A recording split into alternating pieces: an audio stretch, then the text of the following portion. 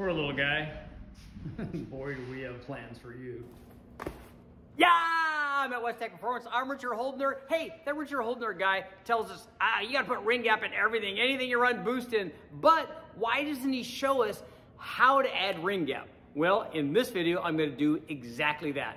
We have our 3800 V6 prepping for its eventual big bang. You know when we turn the boost all the way up and find out what the weak part is on the stock bottom end, the stock block, stock crank, stock rods, and stock pistons. But in order to do that, one of the things that we have to do is add the necessary ring gap. So I have an L67 3800 supercharged V6 I've got from the wrecking yard. We're gonna take it all apart. I'm gonna find out first, what is the ring gap the way that it came from the yard? Does it already have enough?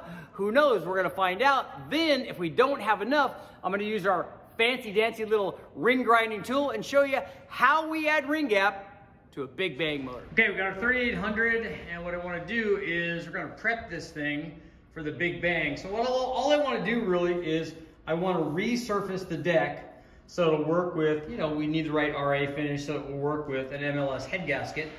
And I'm gonna number the pistons, we'll take them out. While I have them out, I can put ring gap in them.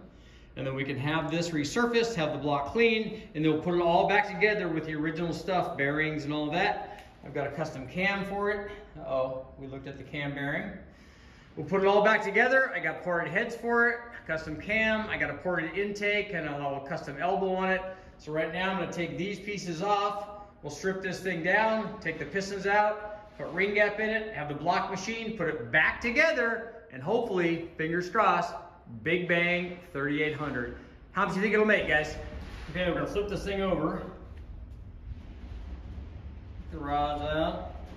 Take the pistons out. Oh, look. Got a little bit of debris in there. Looks like silicone. I'll.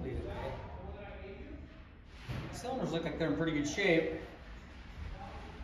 Check and make sure that there are any hot rods in here. Get it, hot rod. So before removing the rods on the pistons, I just made sure to label them so we know which one, you know, they go back in. Got them all labeled, so let's start pulling them off.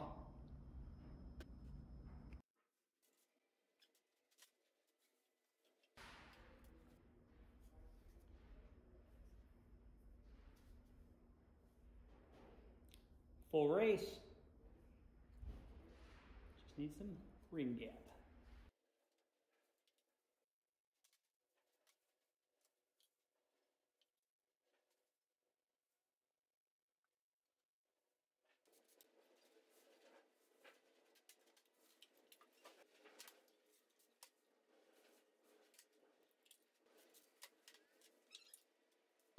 Okay, so the first thing I'm gonna do is we wanna put ring gap in this in our prep to do a big bang on it. So before I send it over to the machine shop to have the deck surface, I'll take the rings off of this piston and we'll put it in and find out how much ring gap we have stock and then how far we have to modify it. Good idea, rule of thumb, six and a half thousandths per inch of bore. So we'll calculate that out. We'll measure the bore and see how much we have to add. I've got a little uh, ring tool over here, a filing tool from the guys at Total Seal. I'll show you that in just a second.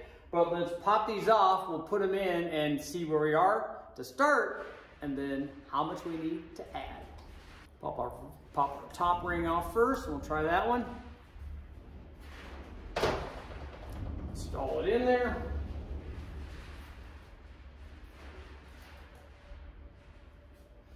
That is even the number two piston going in the number two hole. Quite honestly, in a lot of the, these big bang motors, I don't even care which one they go in because I mean, we're trying to break it anyway, so it doesn't matter.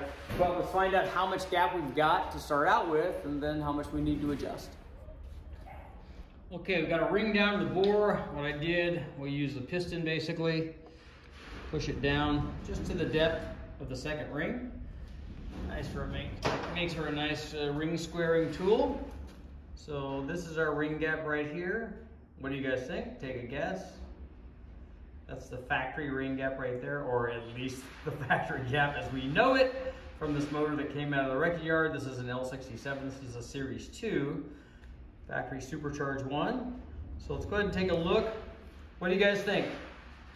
5 thousandths, 10, 15, 20, 25? How much you think it is? Let me know in the comments. but I'm gonna guess that's like a, I don't know, 21, I'm gonna say. So we'll try that here.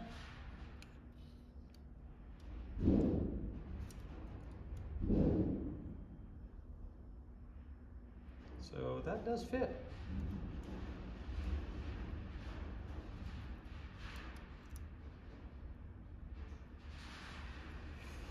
So what size is that? That one is a, a little scratched up.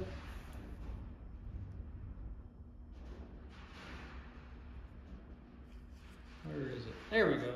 There's that side. Let's look at that side. Oh, no, I was wrong. It's not 21. It is a 22.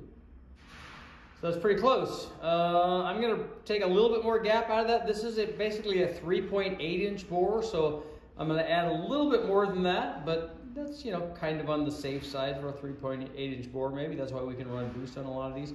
But I'd like to see it up a little bit higher than that. So let's go over to our super duper ring tool and then I'll show you how to add even more gap. Okay, I've got a ring set up. It's the grinder adjustment knob. This is our setup right here and right here. We've tightened our ring down.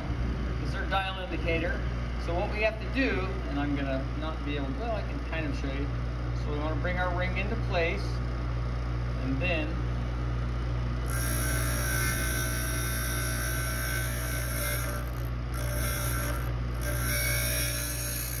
I normally don't do this with one hand.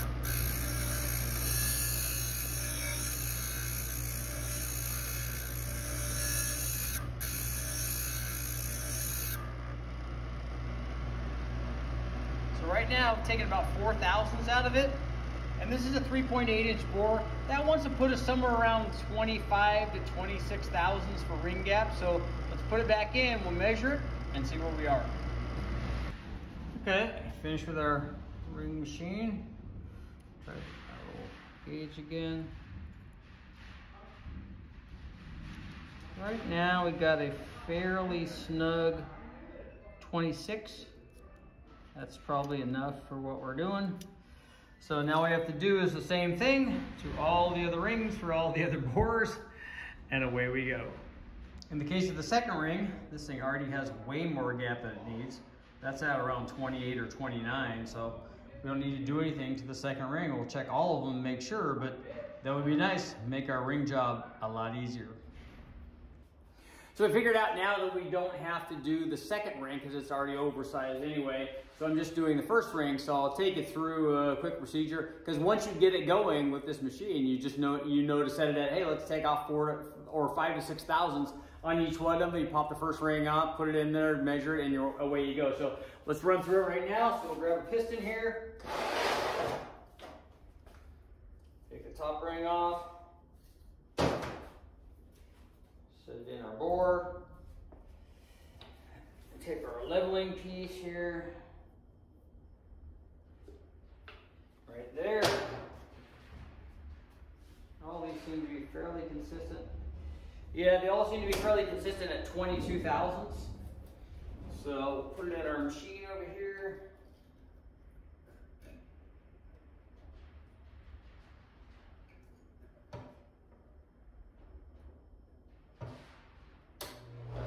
Zero that out.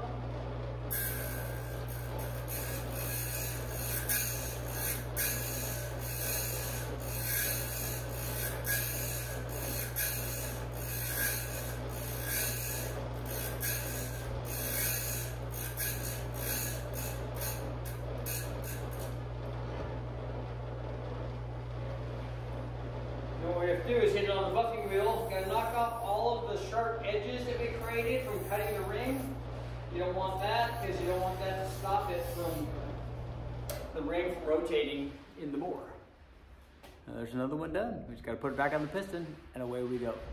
Okay, get all the rings done.